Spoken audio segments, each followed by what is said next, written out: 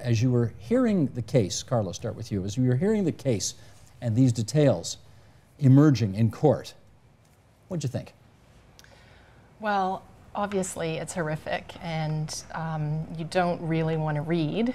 Uh, I find myself reading in short, very selective bits of information um, until my curiosity takes over. I think to this point of reading selective bits, I've talked to lots of women, and lots of us, maybe this is a Toronto phenomenon, just there's a, there's a full stop. It's like you see that picture in the underwear, remember? And it's just like, whoa, the revulsion, the pullback.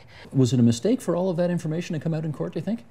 No, not out in court, but you know, there's a the media can make up their own judgments about the way they filter it through to the hmm. public, so that you don't have to run across it. You know, when you're when you're Okay. right. Oh, yeah.